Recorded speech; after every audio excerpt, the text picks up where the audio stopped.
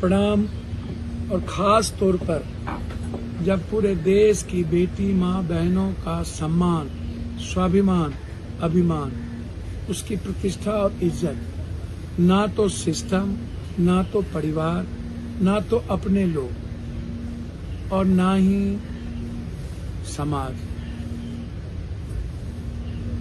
को भीतर से कोई रेस्पेक्ट ना हो।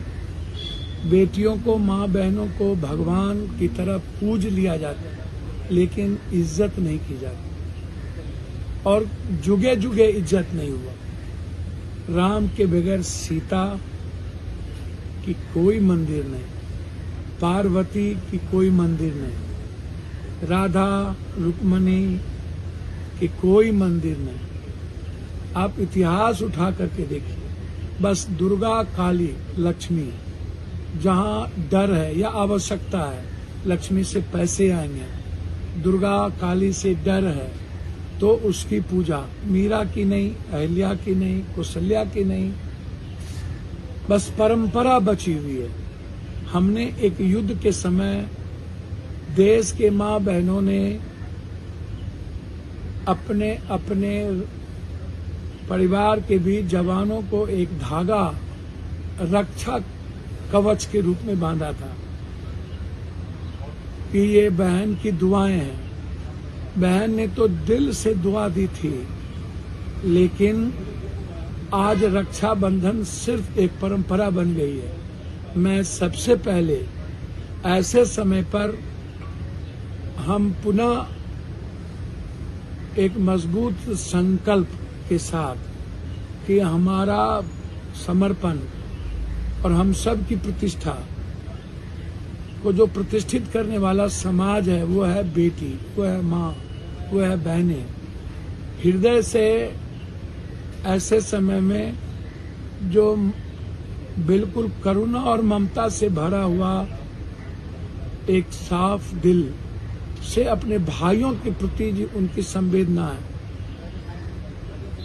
इस अवसर पर ढेर सारी शुभकामनाएँ बिहार के हर माँ बहनों को और हर भाइयों को कि आप निश्चित रूप से रिश्ते को समझिए। रिश्ता एक इमोशनल होता है। टचिंग होता है। रिश्ते अहंकार में नहीं चलते। रिश्ते हमेशा बिना प्रतिक्रिया दिए हुए भी हम आगे बढ़ सकते हैं। मैं बधाई देता हूँ। आज सावन का अंतिम महीना, शिव आराध गुरु को हम सब एक नए मानव कल्याण के लिए अपने को समर्पित करते हैं। बधाई हर शिव परिवार को और जो लोग सिर्फ़ डर के कारण नहीं, पाप और पुण्य के कारण नहीं, भगवान से मांगने के कारण नहीं जो लोग शिवरात्रि में दिल से गए हों, उनको भी बधाई। मैं एक बात आग्रह करूँगा कि मैंने परंपराओं के रिश्ते और पूजा को तो देखा है, लेकिन मुझे याद है कोरोना, जहाँ पर माँ, बहन, बेटी सारे रिश्ते खत्म हो गए थे। कोई किसी को टच नहीं करता था। कोरोना के पहले तो लगता ही था जब हम बहनों को बांझ कहते थे। सती बना देते थे, विधवा। हमेशा महिलाओं का एक्सप्लाइटेशन हुआ। पुरुष को कभी भी बांझ विधवा सती नहीं बनाया गया। और आज भी शारीरिक, सामाजिक, आर्थिक रूप से शोषण बेटी महिलाएँ की ही होती है। ऐसे समय में जब कोरोना के बीच आए थे तो मुझे लगा कि इस दुनिया में कोई रिश्ता नहीं है।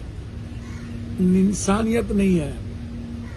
कोई इमोशंस नहीं है। बस हम लोग जी रहे हैं दकियानसीब विचारों के कारण कि हमें शादी करनी है, हमें रिश्ते निभाने हैं, समाज चलाने हैं, परिवार बढ़ाने हैं, इसीलिए करना है। ऐसा नहीं है। एक दूसरे के रेस्पेक्ट के लिए होता है।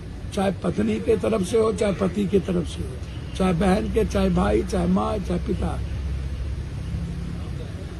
इसीलिए जब रक्षाबंधन की बात आती है तो कोरोना मुझे परेशान कर देता है कि रिश्ते नहीं है इस दुनिया में। माँ कोख में रखती है नौ महीना, पिता। लेकिन पत्नी आने के बाद पत्नी की प्राथमिकता पहले होती है, परंपराओं के मुताबिक। माँ नब्बे प्रतिशत रिश्ते कमज़ोर हो जाते हैं।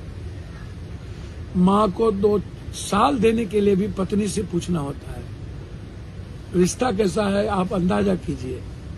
जो खून का नहीं हो, पंजाब से, दिल्ली से, बाहर से हम बम्बई से, अलग गाँव से जिसको हम जानते नहीं है, वो हमारे लिए अंतरंग रिश्ते हो जाते हैं क्योंकि ये इमोशनल टच है, ये रिश्ता है और उस रिश्ते की इज़्ज़त ज़्यादा हो जाती है।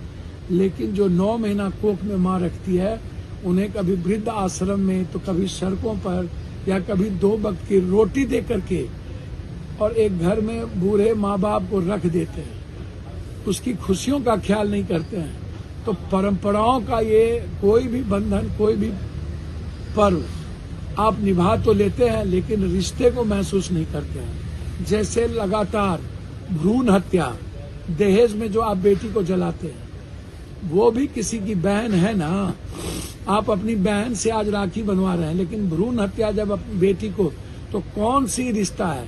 भ्रूण हत्या जब तक नहीं रुकेगा, और जब तक किसी भी कीमत पर आप दहेज में बेटियों को जलाना बंद नहीं करेंगे और दहेज लेना बंद नहीं करेंगे, और बेटियों को एक दोस्त होना अलग बात है, एक अच्छे रिश्ते होना अलग बात है, लेकिन गिद्ध दृष्टि यदि शारीरिक शोषण का है सिर्फ़ सेक्सुअल शोषण ही रिश्ते हैं तो वो बिल्कुल गलत है।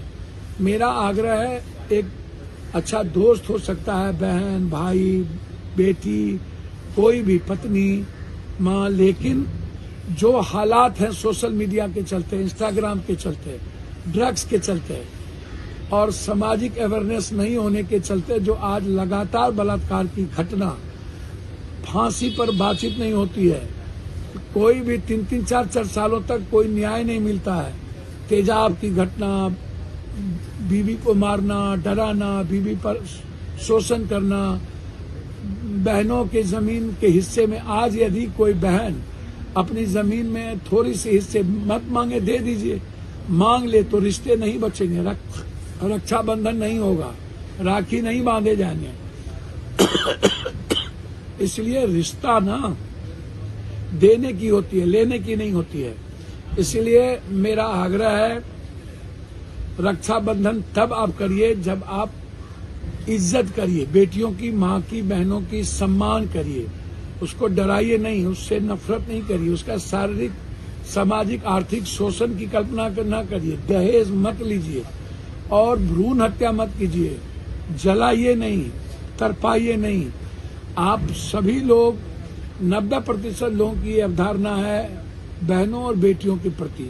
और कोरोना तो आप जानते ही हैं, रिश्ता कोई चीज़ नहीं होता है।